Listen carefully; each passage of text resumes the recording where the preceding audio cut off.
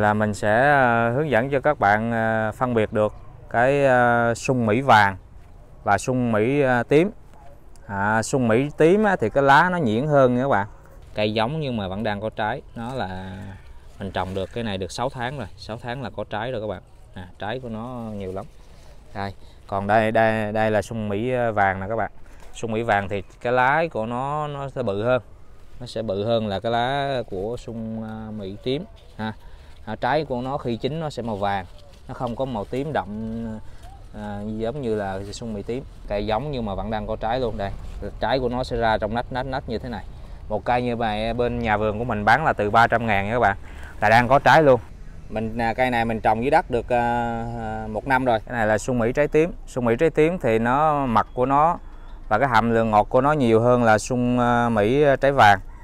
Sung à, Mỹ trái tím thì ăn nó ngọt hơn nó đẹp hơn màu sắc cũng bắt mắt hơn.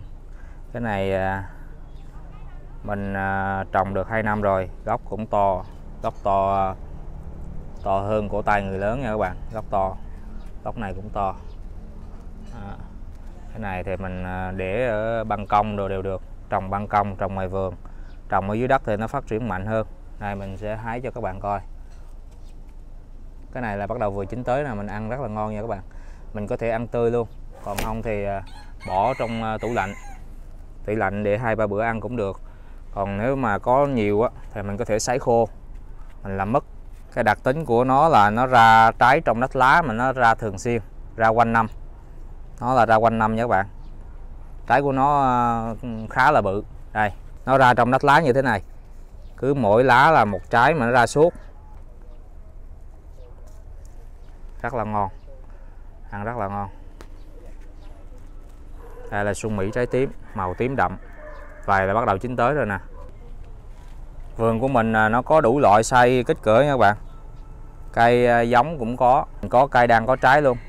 Cây đang có trái là giá nó cũng từ 300 ngàn trở lên thôi. À, mình là, là nhân giống ra mình à, cung cấp cho bà con à, khắp các ừ, mọi miền tổ quốc. Giá thành tương đối à, tương đối mềm 300 ngàn một cây là đang có trái luôn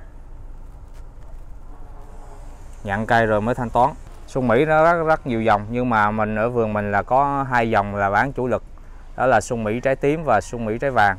Này là bắt đầu cái này chín mềm rồi nè các bạn. Trái của nó bự ngang ngửa trái hụt ờ, trứng hụt dịch nha các bạn. Xuân này bên trong nó có mặt nha các bạn.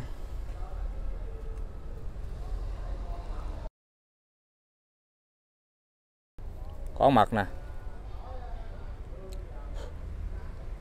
Ừ, ngon các bạn.